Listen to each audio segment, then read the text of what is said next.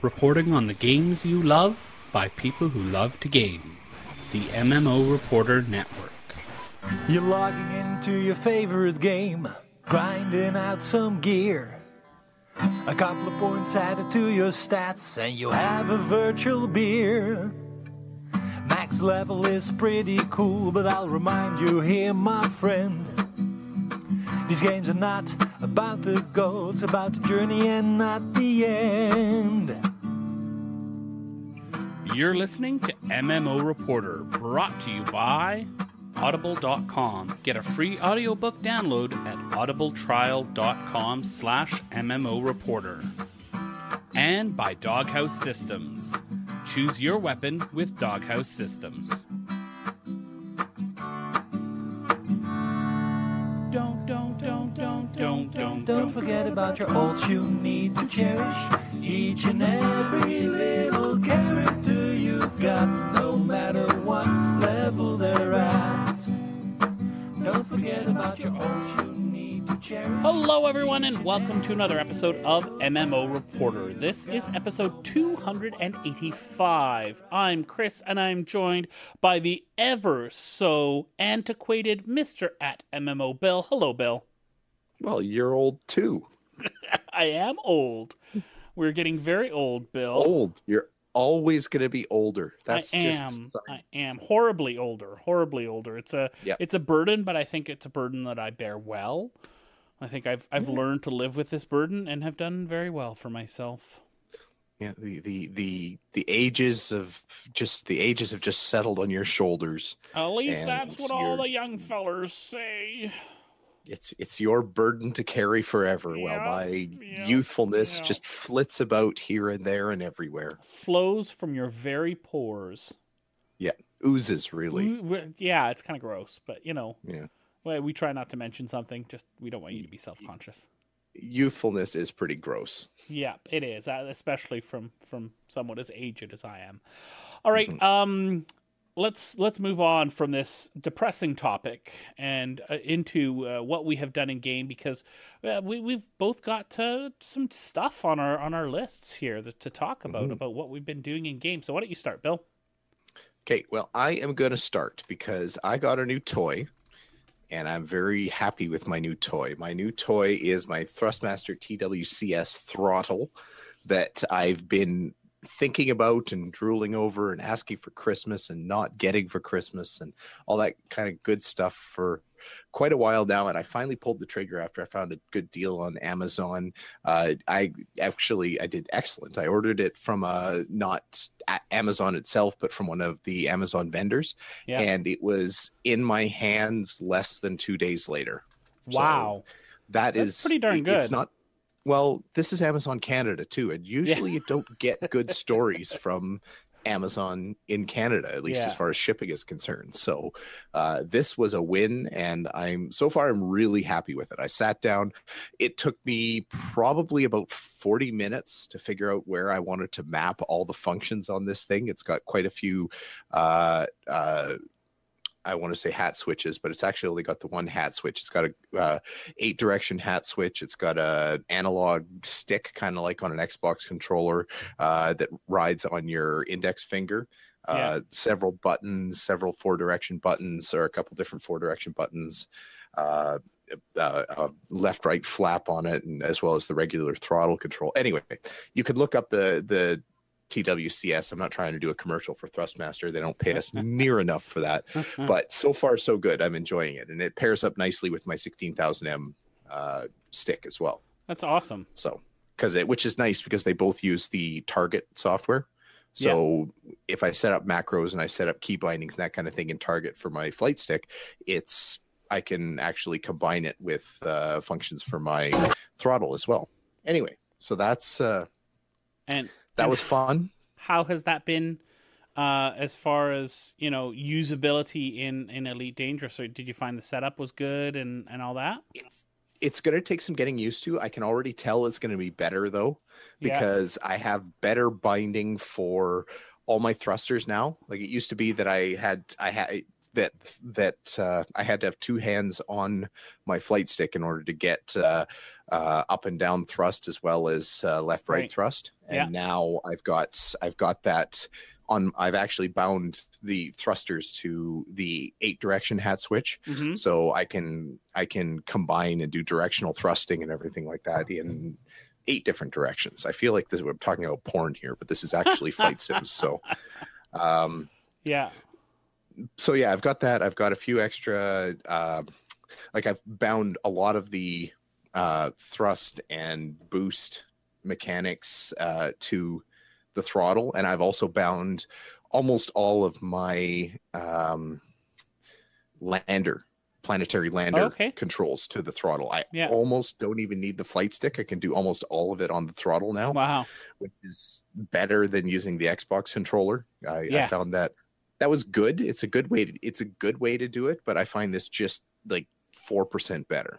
For wow. That's yeah, so I'm gonna- significant. Well, it's it's it's a number. Uh, so I'm excited to get into Elite a little bit more. Uh, I I took it out for the test for a test drive. I did a I did a little bit of frame shift. I, I docked and undocked and docked again, and I didn't crash into anything, which was uh, Wow. probably my biggest concern. But yeah. So, but it's it's amazing. It's it, you add one new peripheral to Elite Dangerous, and it just feels hundred percent different. yeah. It's actually dangerous, just like the name, to change your Mhm. hardware a little bit. So, so anyway, I'm enjoying enjoying that. Uh, I cool. played uh, I played Project Gorgon. Well, uh, we we did. We, We, did. I right? did too. I, Yeah. I did do my own uh, session there as well. That was interesting. Yeah. I'm not going to go too deep into that because Chris and I are going to do uh, a bit more of an in depth uh, review of Project Gorgon and what we think and what our initial experiences were. Yeah. Uh, but uh, I mean, it's it's different. I don't hate it. It's not bad, but it is absolutely different. Uh, so I, I can't wait to. It'll be it'll be good to talk about that a little bit more. Yeah, there was a lot of nostalgia playing it because, uh, in a lot of ways, it felt very Asheron's Callish as we played it. I yeah, I was thinking that's I the more I thought about that, the more I thought is because that was because Asheron's call was already in our minds because it was Probably, going away. But yes, it, it there there's a bit of a similar feel in there too. yeah. But or I noticed it as well. Um, Yeah. yeah, we'll see. Uh, Mhm. it's uh, it, it's pretty cool.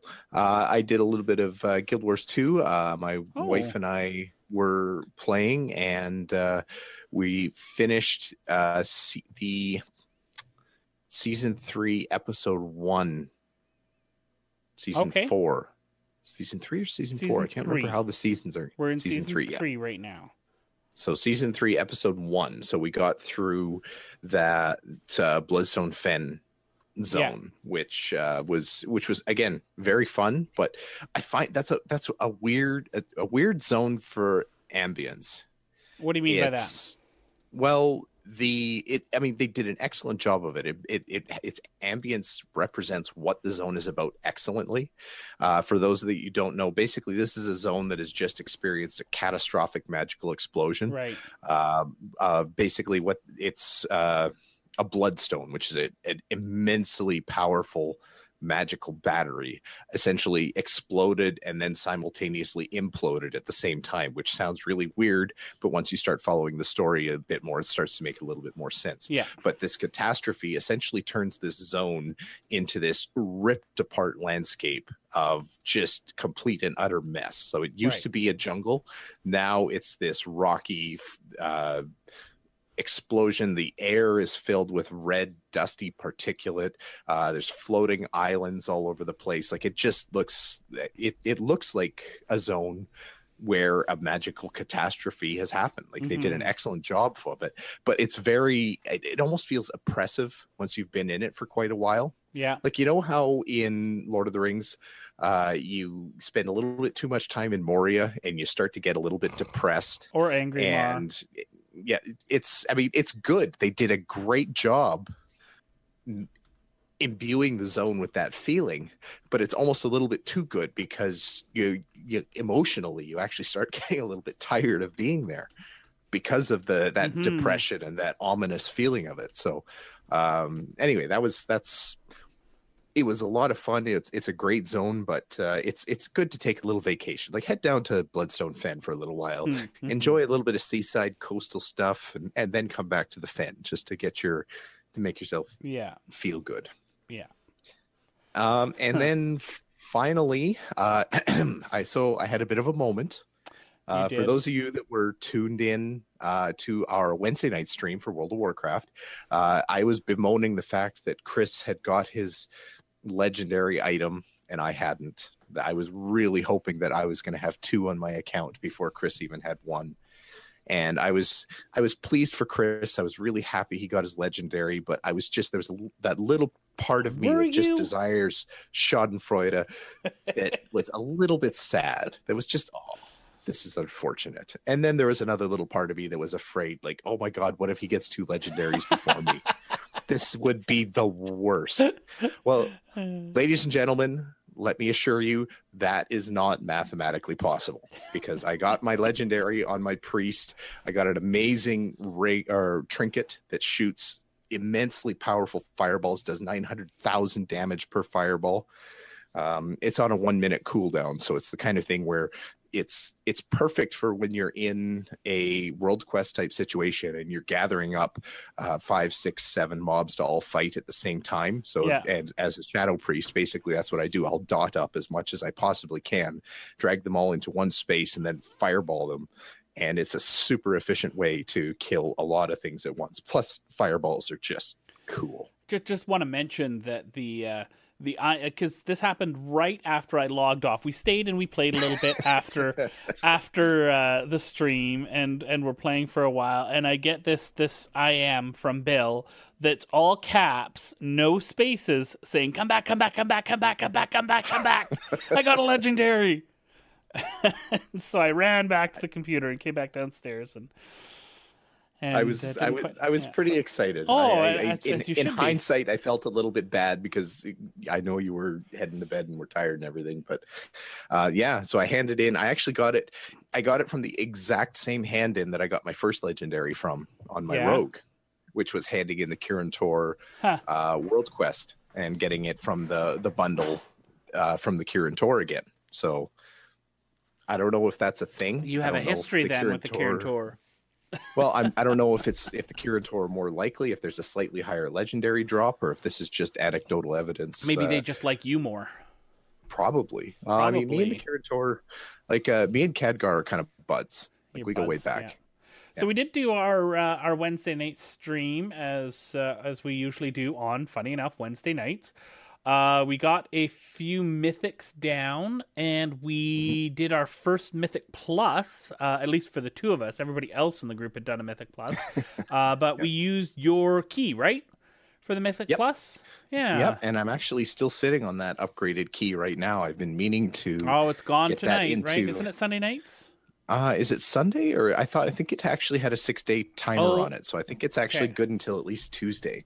Okay. but uh, yeah, I meant to do a looking for group for that to see if I could buy a carry because it's uh, it's the dungeon is Neltharion's lair, which if Right. you're not a WoW person is going to mean absolutely nothing. But Yeah. uh, for those of you know, apparently it's a pretty uh, desirable dungeon for people to want to do a Right. quick mythic run through. So yeah. uh, Darren had suggested that uh, uh, I'd just jump into LFG for that. Say, hey, I've got this key, carry me Yeah. And people would actually want to do that. So Yeah. Well, So- it's it was it was fun to run through. Um, Mhm. we did two that night, um, and uh, and we just overall had a pretty great time. If you want to check out that Wednesday night WoW stream, it's uh, funny enough on Wednesday nights at um, 8 p.m. Pacific, and it's over at the MGN uh, channel on YouTube, youtube.com slash MGN slash live. And I'll usually tweet Yeah. out and put out on Facebook and stuff like that when we're yeah, going live. we'll there. put we'll put a link to that in the show notes as well too when we're done. Hmm. Um. And so, uh, yeah, that's sort of our WoW time, which is it's funny that that we stuck around with it so long, especially with the amount of expansions where we've had the running joke on the show that it is like the most dreadful thing that you have to share when you re-upped on WoW. Um, Yep.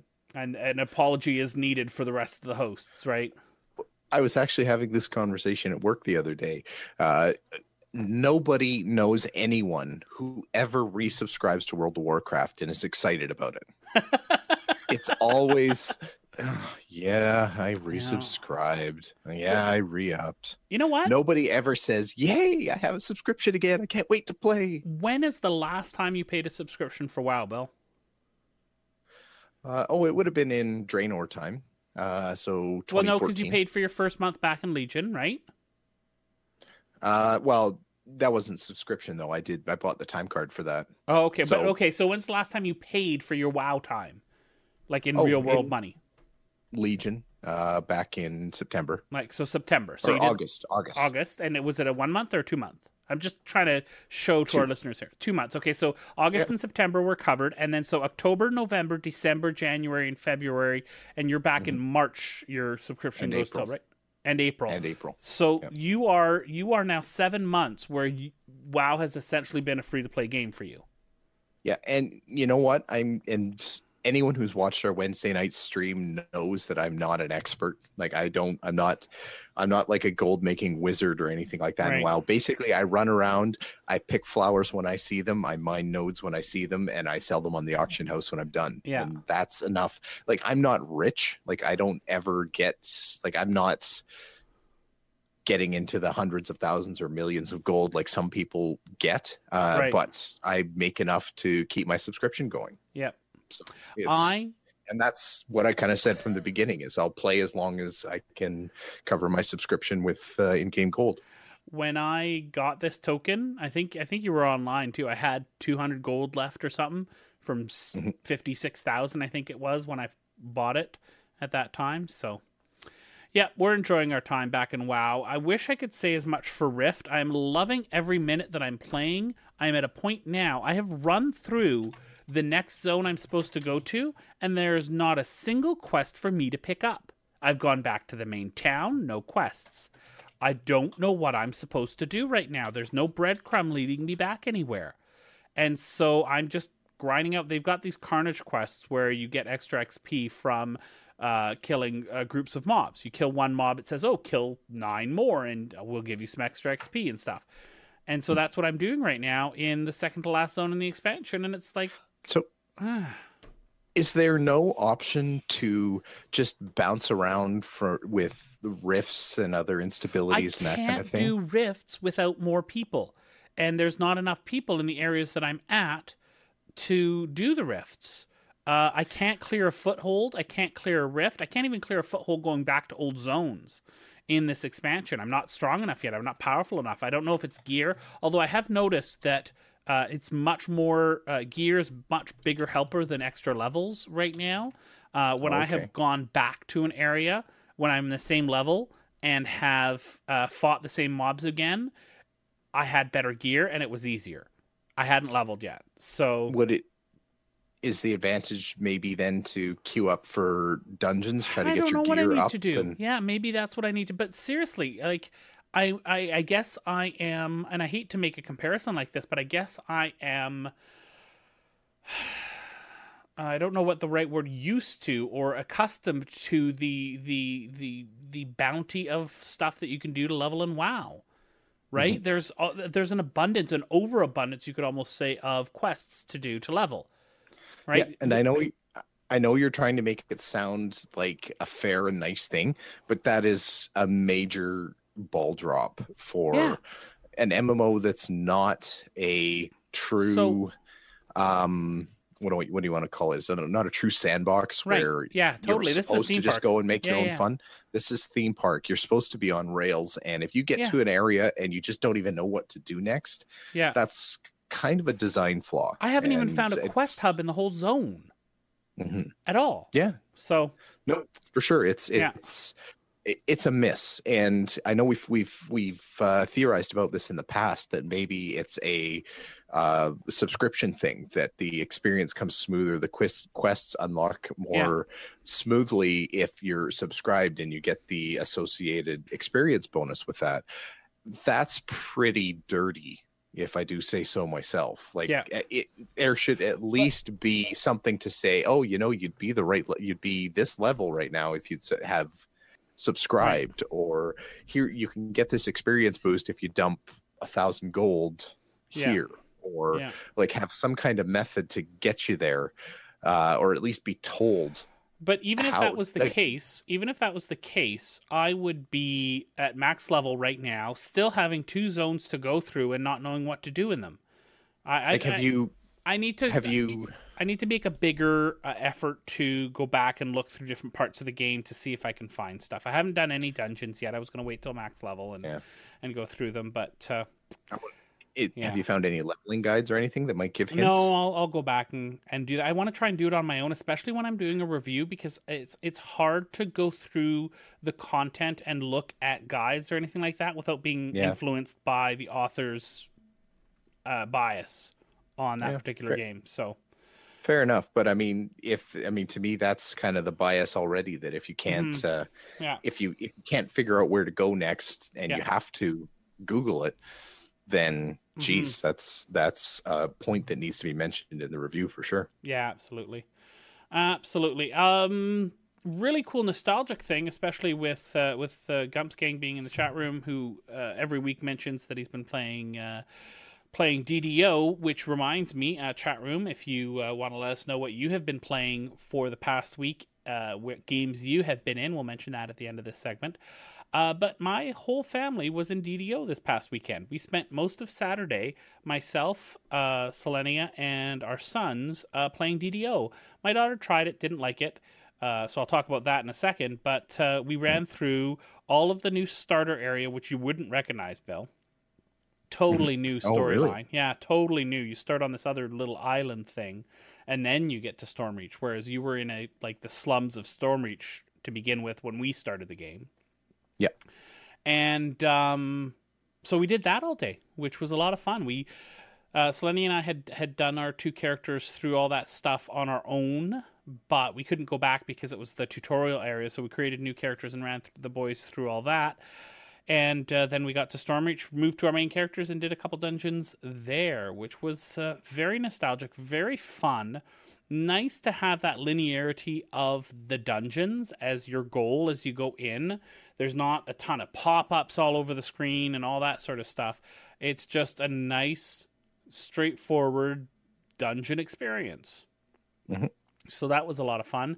Jumped in Lotro just a little bit. Um, and uh, and spent some time in there. But the what I want to talk about on a Saturday night because my daughter didn't like, excuse me, DDO. Uh, we jumped into WildStar with her.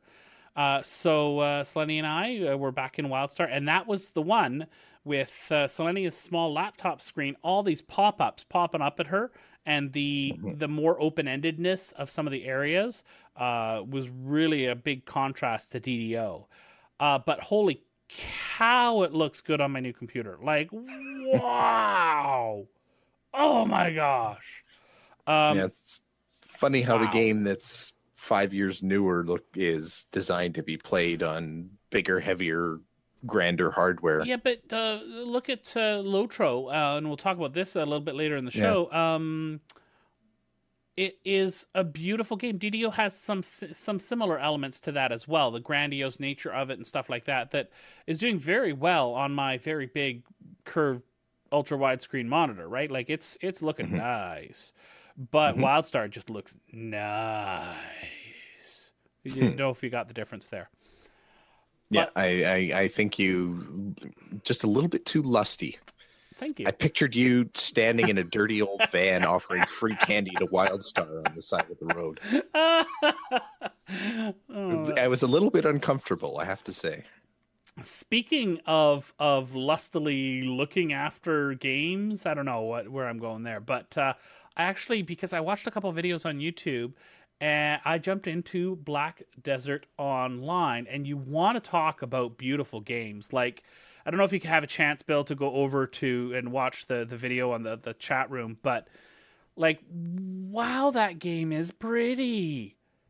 And I played a character that was like a a uh, like a samurai almost, like a one sword and then a bow for some attacks. And it wasn't I had to switch back and forth. I just had some of my attacks were swords, some of my attacks were were bow. Um, it was just really, really fun. and I really enjoyed it.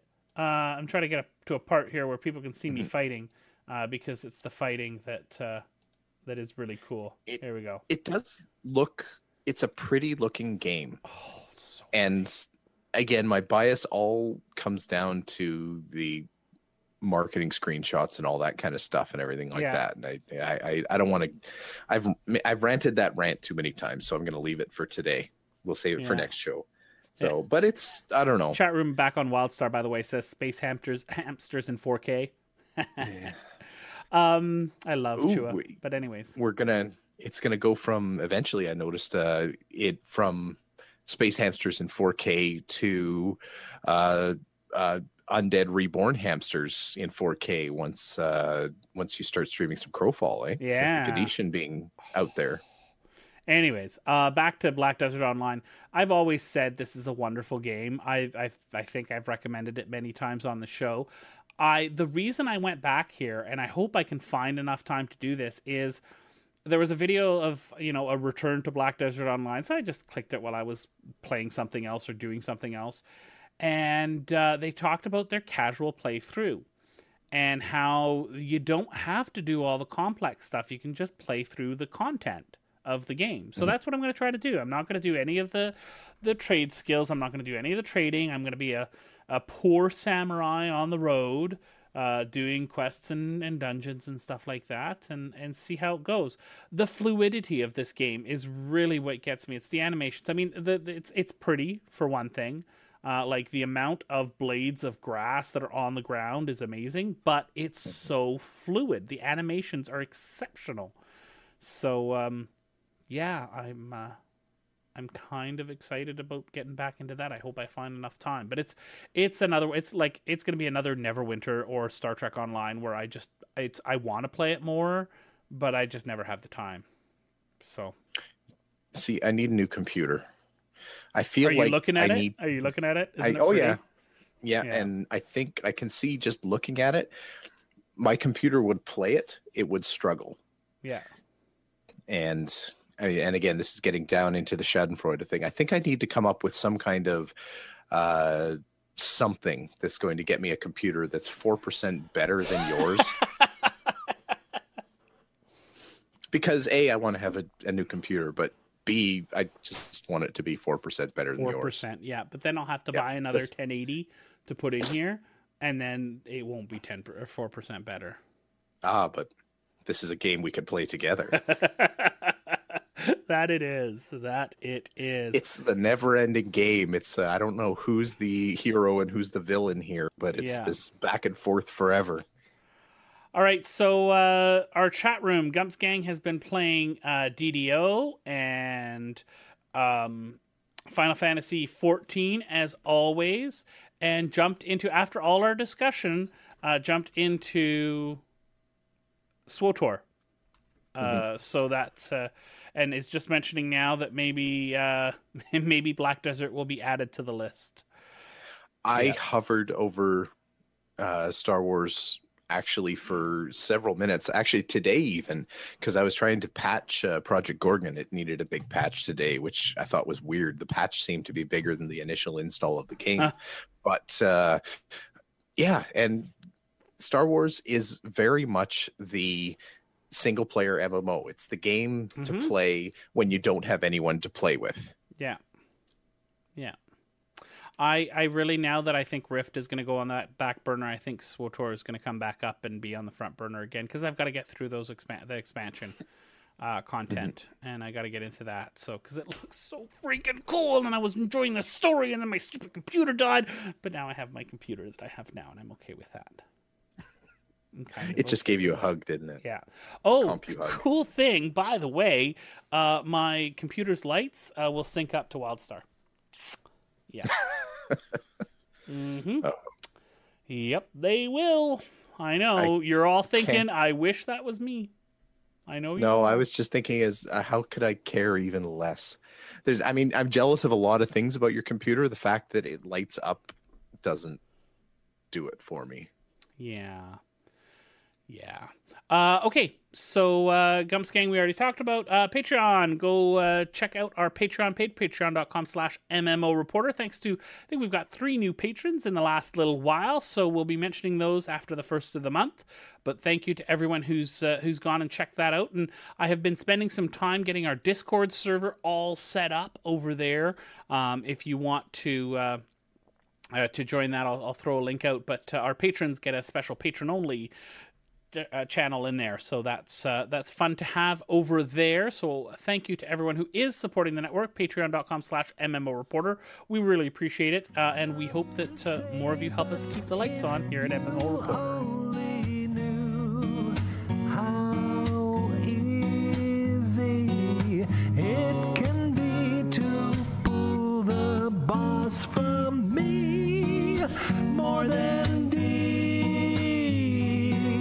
Is all you have to do to make the rain. Then you wouldn't have to say that you. All right, so we've got some interesting news coming out of the Elder Scrolls Online.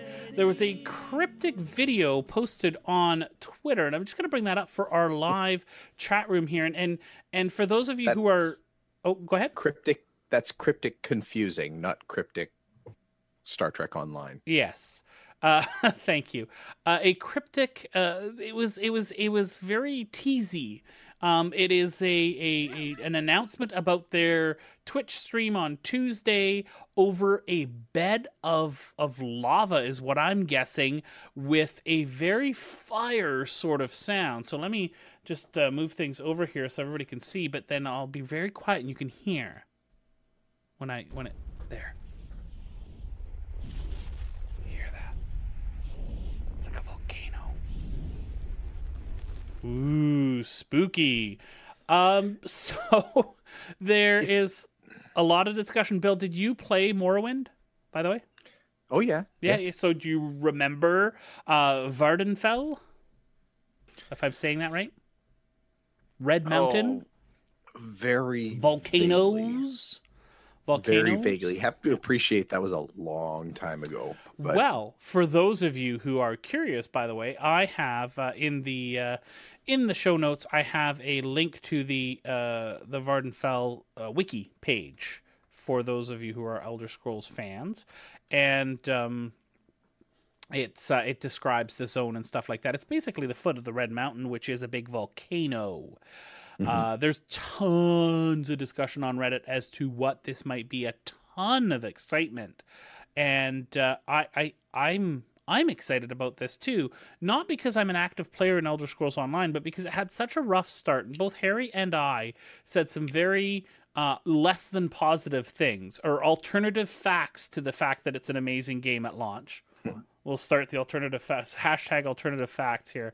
Uh, mm, no, we neither of us really liked it neither of us enjoyed it. Um, Harry uh, was was quite critical of it, and I was was a little bit less, but still, I didn't make it very far in the game before I just got bored. The one Tamriel update has reinvigorated the game, uh, I think, to the level that Final Fantasy XIV's relaunch did. It is now a very, very vibrant community. Overall, a, a mostly positive community and they're really excited about this new content. And the fact that there's been so much content coming out for the game is a really, really good thing. And I'm really, really uh, optimistic for Elder Scrolls Online and what ZeniMax is, is going to do with that IP and, and with the game. Bill, is this uh, is this Morrowind memory going to get you back into Elder Scrolls Online or into Elder Scrolls Online for the first time? Uh, well, it's not wouldn't be th- for the first time. I have I do have Elder Scrolls Online and have played and all that kind of good stuff. Um, any tweak to Elder Scrolls Online is going to get me interested to a degree. Um, this doesn't knock it up to my number one game at the moment. Yeah. So I don't know. I, I, I feel like I need to give Elder Scrolls Online a better effort than I did initially, but it's not going to be. This. Did you week, get into it? I don't think. Did you play it? Oh yeah. Oh, okay. Yeah. I, I mean, played it. We're talking like starting zone type Okay, stuff, or yeah. like one zone past the Yeah. starting zone or something like that. Uh, so it like I said, it, it wasn't a good enough effort. I'd like to give it a better effort, but um, huh, but nothing. Maybe how's that for a Ooh. uh, Yeah. definitive uh, ratings grabbing answer? Yeah. Um, so we do have someone who's who's hopefully going to be getting some stuff together for us about Elder Scrolls Online, and and we will hopefully get them on the show. Uh, who's been playing in there? So, um, yeah, I'm I'm really optimistic. If you haven't tried Elder Scrolls yet, there's some pretty great sales. I, I'm looking at the the subreddit right now, and actually at the top of the subreddit, they have links to buy the game. And on, I don't know the site, so I haven't seen it before, so I can't talk to its validity. But DL Gamer, have you ever heard of DL Gamer before? They've got one Tamriel on for 14 bucks. I mean, that's a steal for that game for the amount of content you're going to get, uh, and the gold um, edition of the game, which is all but one of the DLC.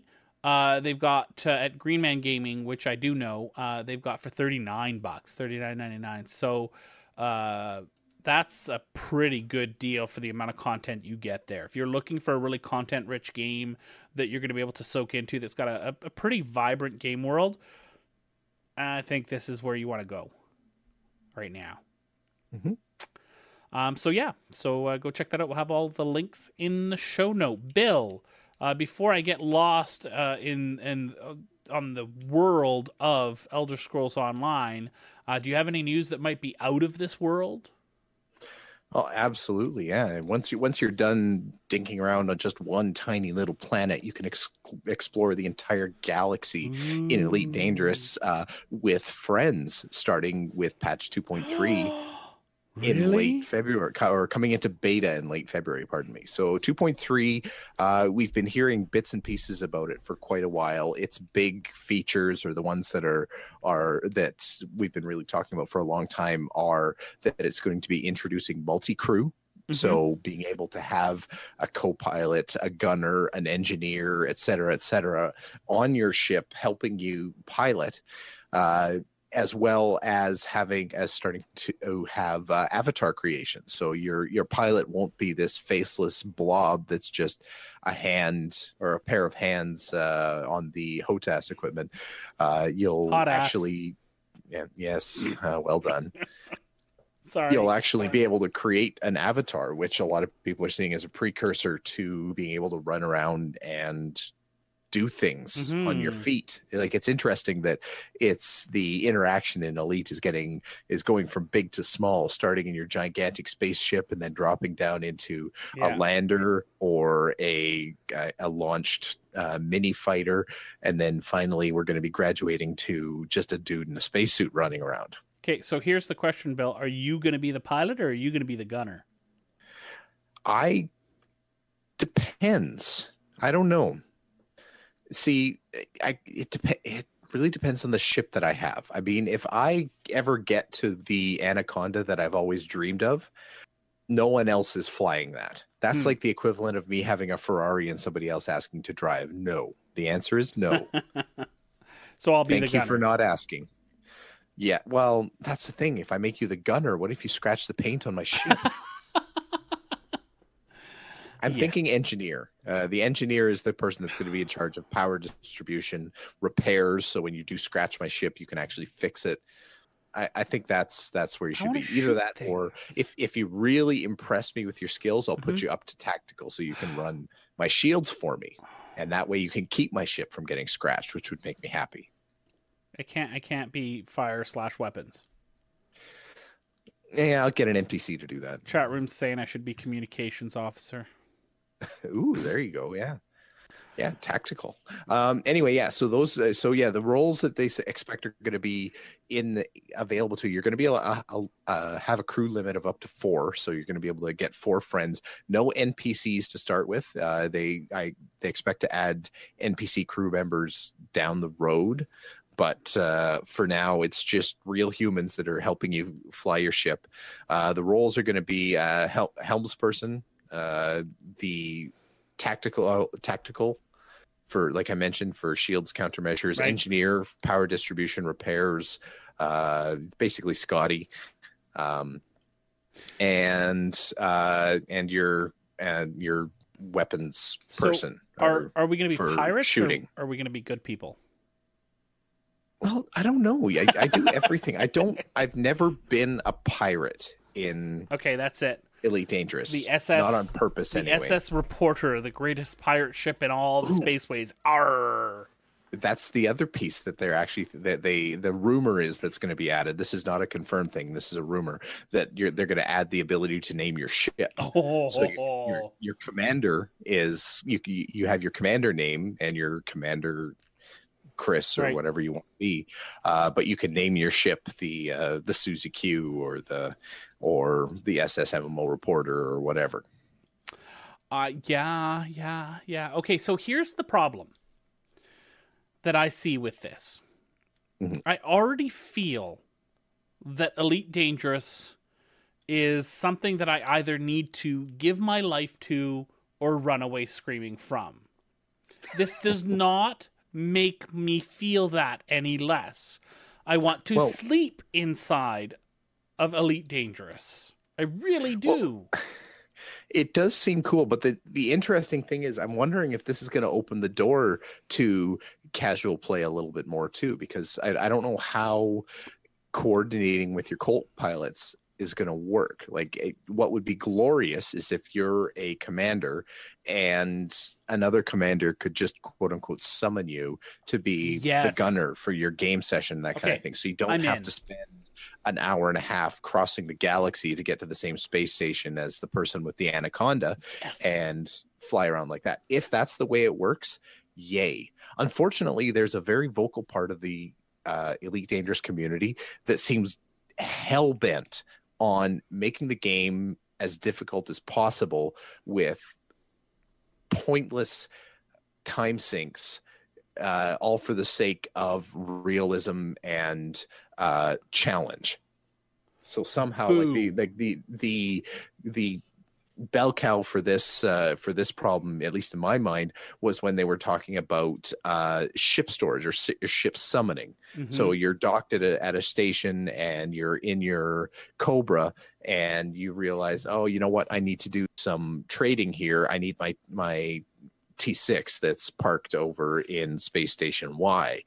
It used to be that you would have to get in your ship and fly back to Space Station Y, change ships, and then start carrying on. And then if you ever wanted to go back to your Cobra, you had to go back to that station, switch ships, and everything like that. Well, they added the feature to allow you to summon your ship to wherever you are, which is great. But this part of the community decided to make a big raising big stink and stink about the whole thing to say yeah you know what there better be a time sink in this you better be a delivery time or something like that so now depending on where you are it can take a few hours to almost a day to summon your ship to where you want it Hmm.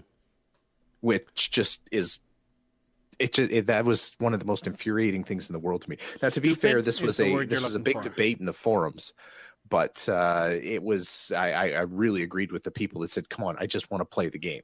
Mm-hmm. Waiting, waiting for something to happen is not playing the game. That's I, I get the whole realism, immersion, and everything like that, but at some point. There, there's no fun to be had sitting around with their finger up your nose, waiting for your ship to arrive hours later. You, sir, are correct. I am. You are. You've never been more right, Bill. And the emails will roll in this week to tell me exactly how wrong I actually am, and I'm sure that's fine. Uh, all right, uh, we're going to move on. We're going to talk real quickly about our two sponsors, Audible. Go to audiblepodcast.com slash MMO Reporter to check out the web's best audiobook service. I've been, uh, I was an Audible subscriber for a very long time while I had a long commute, and they were absolutely fantastic. I loved my audiobooks. Uh, it was some great narrators, some great stories, and a great way to experience all that content without having to sit and read. That drive was made very, very much shorter by those books. So check out audiblepodcast.com slash MMO reporter. And, stop reading while you drive. That's true. Uh, and Doghouse Systems, go to doghousesystems.com, use the coupon code MMO reporter when you buy the the world's best boutique computer. And uh, they will add a free SSD to your purchase. So just go to doghousesystems.com slash MMO, or no, doghousesystems.com and use the coupon code MMO reporter. of mana. Pull that world boss out a party. run through trash. You'll be sorry. Take a bio break without announcing. They may not rhyme, but they're quite possibly the dumbest ways to die. Dumbest ways to die. Dumbest ways to die. So many dumb. so All many right, dumb we have got some news die. coming out of Standing Stone Games. It is a little bit weird not calling it Turbine, I have to say. Hmm. It's a little bit weird. Uh, but uh, some news coming out of Standing Games talking about Lotro's plans for 2017. Now, as always, and we have mentioned this before with all of these producers' letters, they're light on details and they're meant for the community at large, not necessarily those of us who follow these games very, very closely. So I did think that overall this was a fairly detail heavy as far as producers' letters go, uh, producer's letter. Um, and there were three big parts to it uh, and a teaser. First was that uh, the there's going to be a new event coming as the centerpiece to the 10th anniversary celebrations this spring, which is very exciting. 10 years Lotro has been out there. I remember playing in the beta, and uh, yeah, it's uh, it's 10 years, so we're going to be celebrating that this spring. Update 20 is our pre expansion release, and this is going to have uh, a few different areas. Uh, well, one big area called the Wastes, which is uh, going to have some bleak no man lands, uh, and the Slag Hills of Mordor. Um, and and uh, could there be something else, Bill? Oh well, this was just my my dreaming. Like with uh, Shadow of Mordor being such a success and everything like that, wouldn't it be great if there was a little Talion Easter egg somewhere in the hills of Mordor or in the Badlands just outside of Mordor? Absolutely. I need to And that I don't know again. if this is an update twenty or an update twenty one kind of thing yeah. because I, I I believe that Shadow of Mordor, truth be told, was actually I mean it was obviously a prequel to uh, the the Lord of the Rings tril- trilogy Mhm. and that kind of thing. Uh, but I couldn't tell if the land was the area just outside of Mordor, outside the Black Gate, or if it was Mordor itself before it became more thoroughly corrupted. Yeah. But in any case, uh, yes, if there's a Talion NPC, if they if uh, uh, Standing Stone and Turbine could work out the the happiness with that, then that would just be uh, Mhm. delicious fan service. Yep. Uh, it might be a little too much outside of the books, but but you know what? You I would don't okay need to. You don't need to make it a specific thing. You make it uh, uh, uh, uh, something that maybe you misspell it or it's significant to people who have played Shadows of Mordor and not immersion breaking for those who haven't. Yep. Right. Yeah. Uh, we're gonna have the And- Battle of the. Oh, sorry, I was moving I was along. but- I was going to say too, like it's and- and not to mention they're going to have to start getting used to going outside of the scope of the books at some point because we're, we're running out of pages. here. As Severlin says, there are several hundred pages after the ring is destroyed in The Return of the King. Mm-hmm. Hundreds of pages. Yes, you're absolutely correct. Not all of them are the most exciting or lend themselves to uh, a, a, Very a true. video game. But, uh, But- you know what? Standing Stone has, uh, and that dev team has uh, been known to tease out content out of the smallest of Yeah. bits of the book. So, Yeah, and I I believe they'll do it. Like I'm not saying that they'll mess it up. I actually have a lot of faith that they'll do a good job with this. I just yeah, I it would be a nice it would be Mhm. a nice nod. Yeah. Cuz that's been that was one of the geez, probably one of my favorite single player games that I've played in a couple of years easy, hmm if not my absolute favorite. Yeah, it was definitely one of my favorite as well. Uh, okay, Battle of the Black Gate is also going to be a part of this. Uh, it didn't say exactly what that was going to look like, but that's exciting. 2 capstone resource dungeons that you can do in solo or fellowship, and very and the, the the line that I liked was various companies within the host of the West Um, is this the factions that they were talking about in the interview I did uh, a while back? They I didn't put any of the Lotro or DDO content in the MMO Reporter episode. Um, I just put sort of the Standing Stone Games part of it.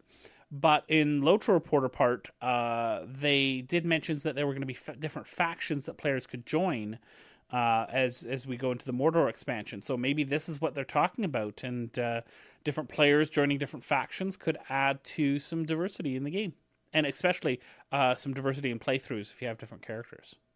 Mm-hmm. Which in a ten year old game, uh, yeah, everybody probably has a couple of alts at cap at max level. Uh, and then update 21, this is going to be the expansion. As they say, we are going to shatter the gate. I didn't say it right. Shatter the black gates and march into Mordor. How's that? That I need some honestly, we'll give it a four. I think there was some too much too much technical difficulty there. Yeah, yeah, yeah. Uh, there's going to be multiple regions, but they did mention in our interview that that will be four new monsters, new mechanics, uh, hopefully better than mounted combat, and new treasures. Sorry, I had a, a little bit of a something in my throat there that came out a little bit. And we haven't talked about this yet. The new high elf race. Um, I have to admit, I think that this is incredibly stupid. And I don't want to sugarcoat it because I really do think like a new ra- I, I understood Beorning because of the difference, but the new high elf race is just a different type type of elf. Why didn't they have, you know, like the Iron Iron Hill or Iron Mountain uh, dwarves, and then the uh, Erebor dwarves, right? Like that's basically what it is. So They- how are they going to distinguish it? they are different in the universe. Like the difference between the Right. high elves and the wood elves were significant. The differences were significant. And I that's mean, in power the same, level, right? Like power level, Yeah. and then they were incredibly magical. in the same way that men from the north were different from men and from the south and that kind of thing. So I, I could see that there's is going to be a difference there. So I'm sort of okay with it. I my concern is, and I this would be yeah, my concern is that they're creating a new race without having to create new models or animations. Like it, it, that it smacks of a little bit of uh I don't want to call it laziness because I don't think it's actually laziness, but it's it, it's trying to squeeze a little bit too much out of that. And I don't know that we necessarily need I the high elves. I feel like there's exactly. I don't even know that we necessarily need new races because there's not a, it's not like I mean it's not like uh, other MMOs where uh, everything is a giant melting pot of a ton of ra- uh, races or anything like that. Like the source material for Lord of the Rings has a very very small number of races Mhm. and it seems to be that you could probably do better adding other things like i'd almost say that they're probably due for a new class rather than a new race hmm like I know the Beorning is kind of a it's a class of its own and everything like that. But I feel like that's the direction that they should go in because there's absolutely a million classes that you can do. Like uh, there's the the characters and the ability types and and that kind of thing that are already in your source material. You could absolutely uh extend that further hmm but uh, I mean, there's there's always. I mean, really, they haven't even gone down the the obvious uh, route of having a ranger. Yeah. Well, So- the hunters are very much They're mechanically ranger-ish. like the rangers are in in the books, right? Like, what would you see differently that a ranger would do that a hunter can't? See, I always thought that the ranger was a bit more of a. Uh, like it was almost more of it was it's almost like if you took the burglar and the hunter and mashed them together and then made it a little bit more martial Like a little If you know what I mean. captainish in there. Like Yeah, another like I class that could start conjunction or sorry, fellowship maneuvers. Yeah. Um and yeah, okay, I yeah. but I I, I Hmm. don't know. I mean, this is just spitballing, and I I, I hate. I, I don't really necessarily like the notion of creating a new class by just mashing three other classes together. There's mhm. probably some creativity to be had there, but I mean, hey, I was I I was we're working here. it, it took me a minute to come up with that. Yeah. Okay, so yeah, we're both skeptical, I think, about the high elf race. You're a little bit less skeptical than I am. Uh, aesthetic improvements to all the races. I know this was a discussion. Uh, so they're looking at anima- uh, animations and uh, and and textures as well. And then update 22 post expansion still this year, hopefully. No ideas. That's the tease. There will still there'll be another update this year after the expansion. This is a lot of content uh, from Well, from Lotro for this year. I, it's good that they're they're planning so deep into the future and i think that's the thing that always makes people nervous about lord of the rings online is it's always felt like a game that was kind of on the edge and you had to wonder okay where's the line? Like do they just stop doing things when we get to mordor when we get to that stage in the story? It's it's nice like these these uh these uh producer letters that we've got from them in the past have always been kind of at least to me a kind of a calming influence like yes we have Yeah. a plan things are happening don't worry Yeah. so because and because lord of the rings online also has fallen into uh content drought Oh yes, before or problems had in a- the past so We've had a full like uh, expansion launching in August, September, and nothing in the year before other than events. Like, well they've already said calendar year. coming coming into update 21 is going to be their first expansion in nearly four years Right, but what I'm saying is that the, they've been doing these updates though uh, for the last little Mm-hmm. while more regularly. I think when we were doing Lotro Reporter, there was a good chunk when they went from January to September with no update. yep Right. Yep. So, yeah. Okay. Uh, let's move on to the next story. Bill, do you want to take this one? Uh, yeah. This, so this is just a bit of good news for all those people out there that have tried to get PAX passes in the past and couldn't quite get them. So there is a new PAX being announced. Uh, it's being called uh, PAX Unplugged, which is going to happen at the uh, Pennsylvania Convention Center in Philadelphia, November 17th to 19th of this year. And it's focused uh, heavily on tabletop gaming. So this is really going into the roots of I like this. I feel like this is them kind of harkening back to what PAX originally was. Because when I talk to the people, like the real PAX old timers that were there back in the in the good old days before they would sell out in two minutes after of of having passes on sale and and completely taking over all of downtown Seattle while they for the for that one weekend every year that when it was a lot more of an intimate thing the best memories that people always told me about were going around experimenting with the new tabletop games meeting random people and playing a random game here there and everywhere. And that's like that's the memories that that people would always tell me about saying this is what i really love to do with with pax so i feel like they're taking this this whole kind of memberberry uh, fad going on here and really diving into what the actual nostalgia of PAX is and trying to condense a new PAX into just that. So Right. I desperately hope this works out like that. That this is a PAX with a unique identity that really dives in and really kind of answers that call for the people that don't necessarily want to stomp around on the show floor or don't want to go to a million uh, uh, seminars or anything like that. They just want to go and play games. And Yeah. this would be a glorious answer to Mhm. that. I would love for it to take off. and uh, this is a really good fit for PAX as a whole as well. Um, PAX East and PAX Prime, which are sort of the two uh, bookends, if you will, of of the PAX experience, are both very similar shows. They're uh, they're conventions with a lot of booths, with a lot of announcements, and people get to try games, demos, hardware, all that sort of stuff. They're very very similar.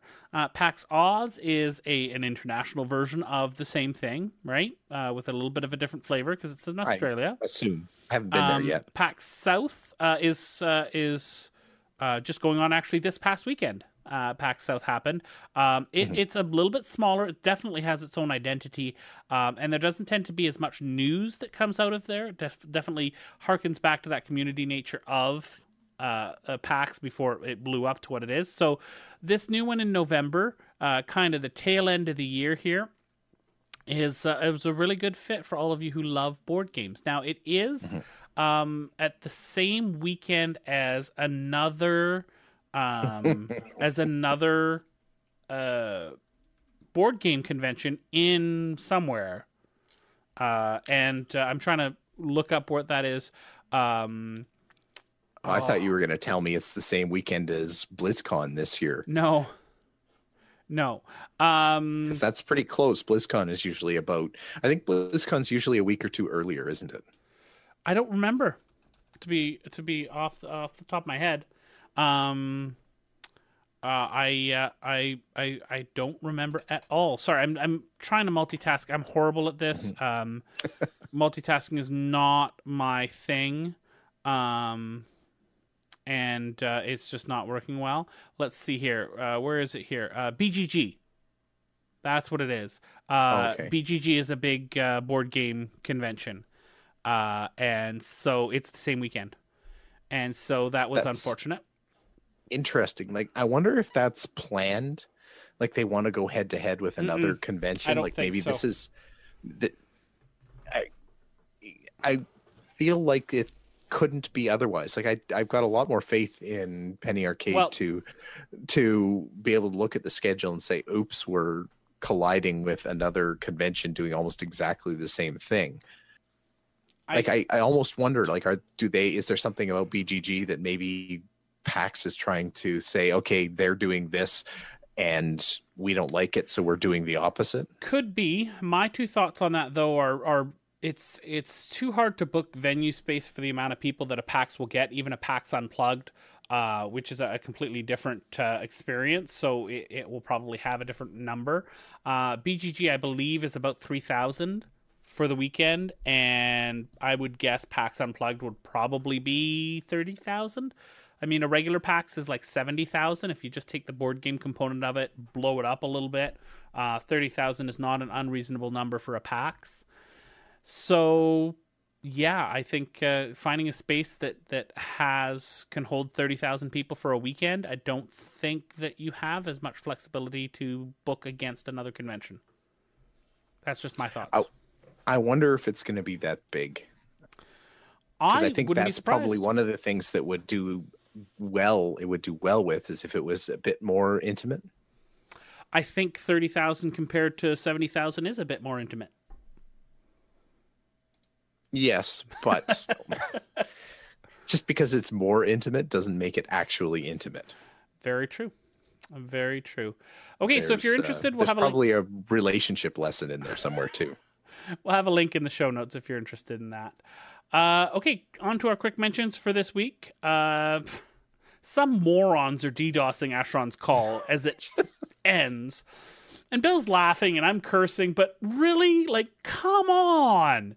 Morons. Why the heck are you DDoSing Asheron's call?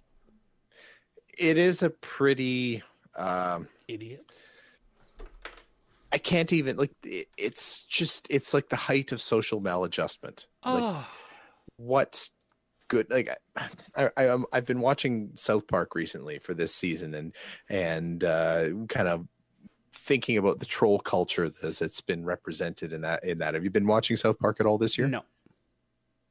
anyway it's you you remember the world of warcraft south park Mhm. episode right Yes. well imagine guys like that time like and an entire society of people like that except that.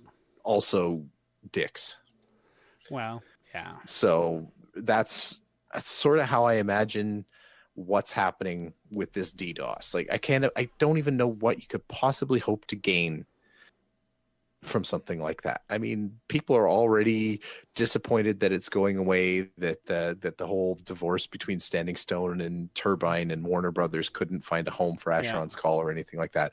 That's already a little bit sad. There's a, there was the story of the one grandpa who's who's been playing asheron's call for quite a while and uh, i think about that guy wanting to play asheron's call for one more weekend at the end and not being able to. Yeah. just why like what what have you accomplished Because they're you made, an, dicks, you, Bill. you- you made an old man sad bravo Yeah.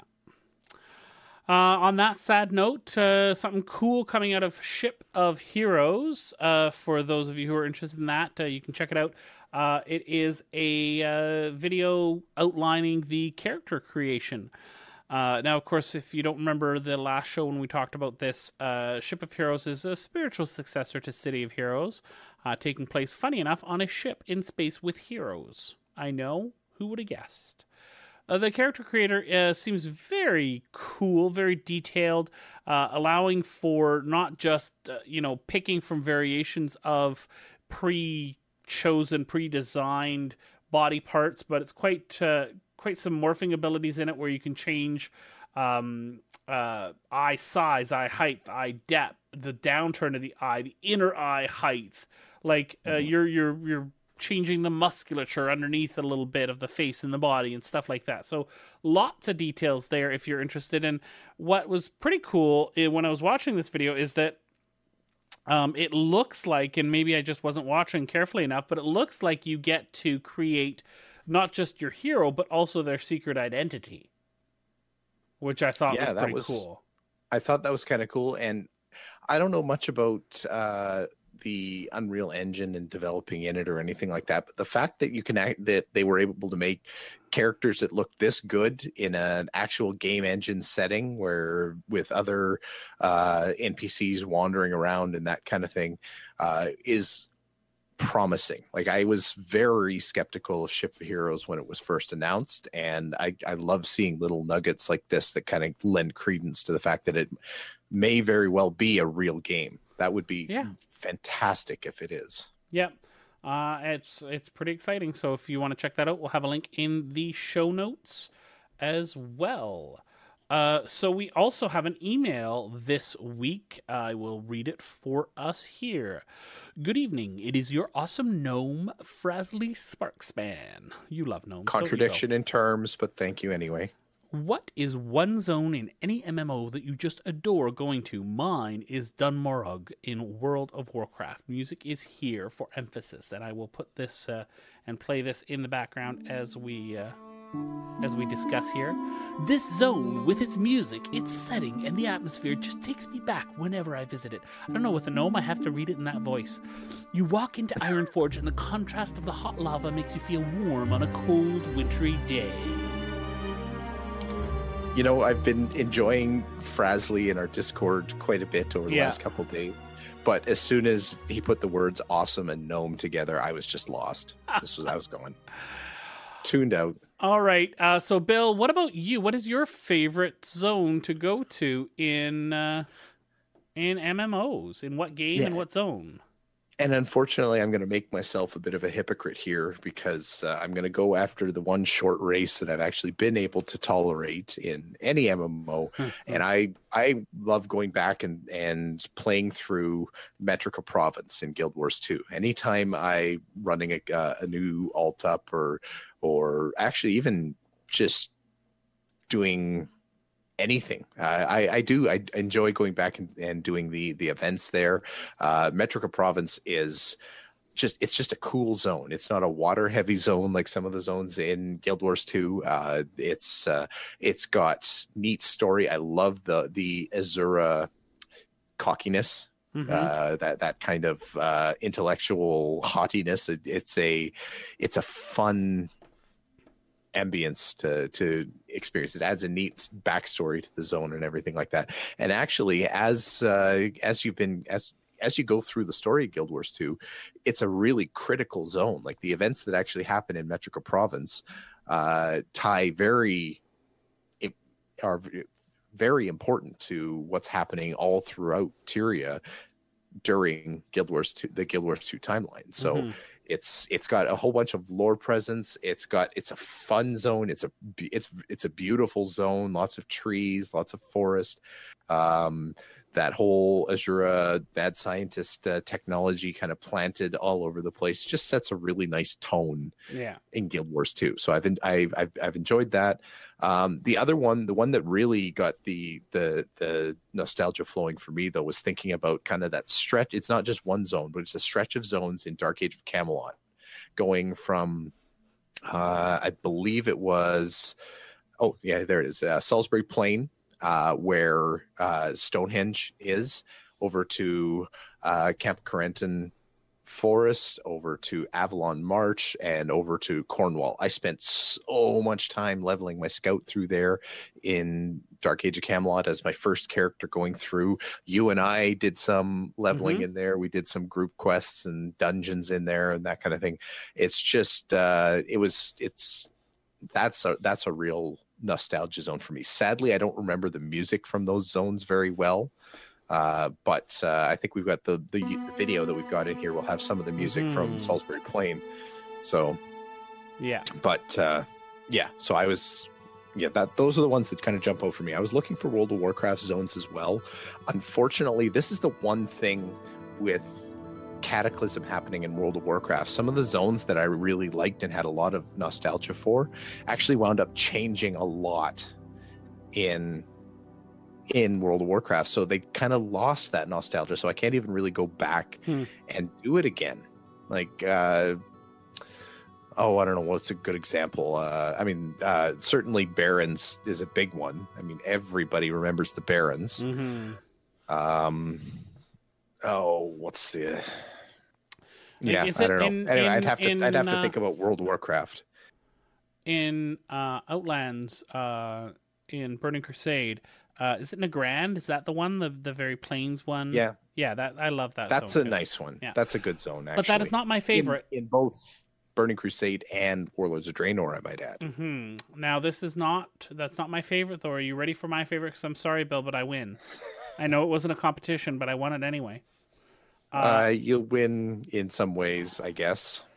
My my favorite zone is uh, none other than the Shire in Lotro because it is absolutely beautiful, and that's the one thing I was talking about earlier in the show, and that is that this game has aged fairly well. Not so much in the animations and the textures, but in the landscapes that they have been able to create for this game. It is absolutely beautiful. It really is and um, it, uh, it it I've also always loved the soundtrack of it, right? Especially the Shire, that um, old English Celtic almost sort of Yeah. music to it, right? Yeah. Um, It- it's just fantastic. Yeah, and as much as I mean, hobbits. I don't know. It's it's hard to hate hobbits and and, and lump them into my regular short race uh, racism, but uh, the Shire was put together so well in terms of representing what the Shire yeah, seemed like to me in the books. yeah, like they they they made that zone. It it felt like in the context of every other zone in lord of the rings online it felt a little bit silly um, the politics in the shire are wildly different than the politics that go on in any other zone. Yeah, um, there's there is a lot of interest in pies. There's a lot of interest in beer. Um, there's world ending concerns about pests eating crops yeah, like this is it it just seems it just did they did a really good job of making it seem like this zone that's kind of insulated from the evil that's all around it and Yeah. taking Yeah. over the rest of the of middle earth right. uh, so I, I agree i think that's that's an excellent zone for i mean i've said the word ambience a million times in this episode it feels like. Not to exaggerate or anything but uh, uh, yes i agree with you. It's just and I've, I've for those of you watching the video i've i've paused it on this landscape this this panorama uh, at the uh, north end northeastern end of the shire. And it's just there's I, I haven't had a game be able to recreate that panoramic aspect that that lotro gives me. Um, i don't know if it's just the draw distance of the landscape because the draw distance of actual stuff isn't that uh, different it's less than some other games but just Yeah. looking over this it's just like I, I, I don't feel like there's that usual fog that MMOs built in build in It's- or RPGs build in to limit your distance, right? it feels like a big sky game Yeah. like you know like that like it, like Yeah. it's this just the world feels a little bit more open like again we both we both of us have been playing world of warcraft quite a bit uh the 360 view you take from any spot in almost any spot in lord of the rings online is more grand than Mhm. any 360 view take view you take in world of warcraft Absolutely. I don't want to say that Lord of the Rings looks better than World of Warcraft. I think that's a debate, and you could argue that. But certainly, in terms of uh, grandiosity, Mm-hmm. Yep. Lotro is is excellent. All right, uh, time for our last segment here. What are we playing next week in game? A reminder to our chat room if you're in there and you want to let us know what you're going to be playing next week, we will be happy to mention it at the end of this segment. Bill, what are you going to be doing this week? Well, we've got uh, another hot date for Wednesday night to play World of Warcraft. Um, I'm gonna keep working on getting used to my new throttle and Elite Dangerous and and start exploring there. Obviously, I'm gonna have to get ready for uh, or get my ship all shinied up for my co-pilots and and crew members when that drops. Um, and I've also I you know I watched last night. Uh, we had a little family movie night uh, where we watched the newest uh, DC Heroes Lego movie that popped on Netflix Yeah. and that just inspired me to play DC Universe Online. Like I started thinking about uh, Mhm. uh, like Grodd is one of the characters in the in that movie, and I thought about uh, all of my early zone experiences fighting Grodd, the giant ape, and I thought, oh, that could be fun. Yeah. So. Yeah, I think uh, I think I'm going to take a run at uh, DC Universe and see what it's like these days. Awesome. Uh, I'm gonna play WoW. Uh, my family will get back into DDO, of course, WildStar as well, and as always, uh, Lotro, because it's fun. And our chat room is Gumps Gang is saying next week Final Fantasy 14, DDO Lotro, and being evil in SWTOR. 'Cause SWTOR That's one evil. thing I've never really done, or I've never taken a serious run at in, in Star Wars is playing the dark side. Like I've I've Oh, created really? characters and I've done like a couple zones and that kind of thing. So I feel like there's a lot of story waiting for me there to do that. Yeah. But in my heart, I'm a I'm a Jedi in Star Wars. Like I just I feel like if I want to play Star Wars, I want to be the good guy. I want to Yeah. be Obi Wan and I had a Sith for a while. I didn't enjoy it. yeah. I didn't enjoy it. All right. Uh, if people want to get a hold of us, Bill, how can they do that? Oh, there's a ton of different ways. You can head over to MMOreporter.com and check out our new site over there. Uh, you can send us an email to MMO.reporter at gmail.com if you want to send us any questions, uh, just like uh, Frasley, the friendly gnome, sent us. Uh, you can visit us over on Facebook at facebook.com slash MMO reporter. You can tweet at either of us, either at MMO underscore reporter for Chris or at MMO Bill for yours truly. You can give us a call at 616 6778 to leave us a voicemail. If you want to be worldwide famous on the MMO Reporter podcast, that is the best way to start doing that. Uh, you can check us out over on YouTube at youtube.com slash MMO Reporter Network. Uh, for all of our YouTube videos and PAX stuff that we, we mentioned a little bit of PAX there today. Hopefully someday maybe we'll get some PAX Unplugged coverage to put on that Mhm, channel. that'd That be would be cool. good. Mhm. Um, if you're looking for something to do on Wednesday night at 8 p.m. Pacific time, head over to gaming.youtube.com slash MGN slash live to watch uh, the MMO reporters uh, stumble horribly and awkwardly Hmm. through dungeons that everybody else can do easily. We don't we, we decided to take a different tack with our dungeons. We don't do dungeons well. We we want to show the world what doing dungeons badly looks like. So Yep. tune in tune in at on Wednesday at eight to uh, see how that works. Uh, if you'd like to help us keep going, uh, head over to patreon.com slash MMO reporter to throw a little support our way. Or if you're not a Patreon kind of person, head over to MMOreporter.com slash support. Mm-hmm. Well, thanks, Bill. It's been a fun show. Yeah, I had a lot of fun this week. I feel great. That's great. Uh, and thanks to our chat room for coming out, both on Twitch and on YouTube. It's always fun to have you out here. Uh, it's been a pleasure chatting with you, talking about games and all that fun stuff. We hope that you enjoyed the show, however you may consume it on uh, audio form, video form, however you may do that. We hope that you come back again next week to enjoy the show, but most importantly, we hope to see you in game. Don't forget about your ults you need to cherish each and every Thanks for watching the video, everybody. Don't forget to check out all the other podcasts at MMOreporter.com or by clicking on any of the links here. And please check out our Patreon campaign at patreon.com slash MMOReporter. Thanks, everyone, and see you in game.